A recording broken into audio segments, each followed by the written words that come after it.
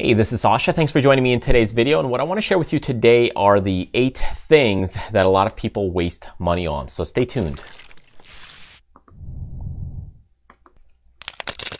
All right, so if you're trying to save a little bit of more money in cash, uh, I deal with a lot of personal finance, I deal with a lot of investments, uh, and those kinds of things. So anything money related is kind of what I'm centered around. And uh, there's a lot of things that I notice that people just constantly waste money on. And here I'm going to share with you a, a, couple of these things. Of course, there's many more things out there, but if you're getting caught in the trap and loop on any of these things, then you want to be a little more careful if you're trying to save some money.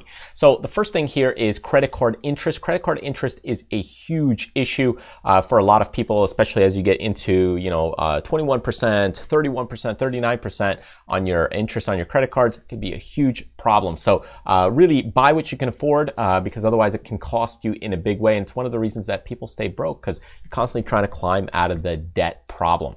Okay, number two is going to be uh, deal sites. So if you're trying to purchase a deal, you think, hey, it's a good deal. Hey, this is coming up. It's a steal of a deal. Well, oftentimes those are there to lure you in so that way they could take your money. So impulse purchases, avoid them and stop wasting your own cash. And number three, uh, books. I love books. I've even written a lot of books. But if you're trying to save money, keep in mind there are libraries nearby. You could go check out some books, even my books. Some of them are probably on cruise ships go ahead, grab yourself some books for free. Now, yes, there are some premium books that you do have to end up buying. Some of the new releases you may have to end up buying, but don't forget about your libraries. That's all I'm saying. Okay. Other than that, you can get a lot of valuable information from books. It's actually one of the things that helped propel me forward through my education. Okay, number four, uh, upgraded shipping. A lot of people, hey, they got to send this Christmas card tomorrow. And when you look at things like that and you're paying, you know, nine bucks, 20 bucks to ship something the next day, 50 bucks, it starts to add up. All that money uh, is expensive. So if you need to send something next day, I know sometimes it does happen. It's rare. Maybe you need to get your passport a lot quicker. So you got to pay a little extra here and there. Uh, but otherwise, most of the time, you're probably just wasting money. For one or two extra days, you know, time is important, but it's probably not that important. If you're spending it a lot, often just go a couple days earlier. Okay, number five, uh, as we get into this, this is a daily coffee fix. And I'm not just talking about coffee, I'm talking about any habitual thing that you're kind of repeating that may not be as healthy for you, uh, like even smoking. So these habits can cost you a lot of money over the years. So be careful not to get into the trap. I'm not saying you can't enjoy coffee. I'm not saying you can't enjoy good things because money is there to improve your life, to enjoy life. But if you have a habit that's costly, that also is also damaging to your health. Not saying coffee is, but maybe things like smoking. Uh, then in that case, you know, it could create uh, a big dent in your wallet. Okay, let's take a look at number six. Number six is designer baby clothes. You know, I've got kids. You might have kids. And if you're spending money on expensive clothes for them, uh, you know, hey, more power to you but chances are you're doing it for your own benefit and not for theirs. Uh, you know, kids, they don't know brands until you teach them brands. We humans, we don't know brands until we are taught these things. It's kind of like the Coke and Pepsi model. When you close your eyes, try and figure out which one is better, right? So some people already think they know which one is better. They think they can tell the difference.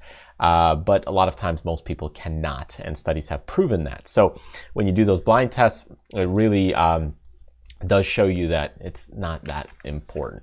So your kids, they're going to go through clothes very, very quickly. Uh, some of them will outgrow things, and I've seen people where, hey, they don't even get a chance to wear those clothes because, hey, they just outgrow them so quickly. Maybe they've got winter clothes that are designer clothes, and all of a sudden they just jump a size.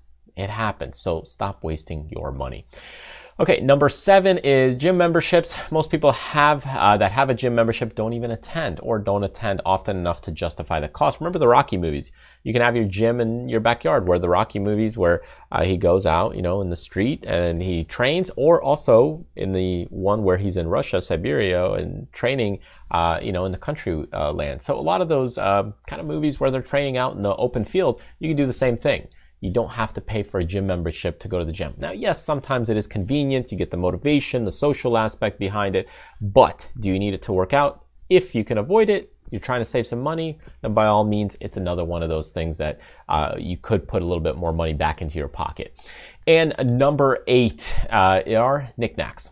I've seen some interesting things go for a lot of money where they're uh, little knickknacks like little vases, little dolls, figurines, uh, pretty objects. Uh, most of the time, they're probably collecting dust in your house, uh, but some people love these things. And hey, more power to you if you have one or two that you really love and treasure. But if you're trying to be a collector and you're collecting things, most of the time they're just kind of a waste of money. They sit there until eventually they collect dust. So uh, get rid of them or stop spending money on them.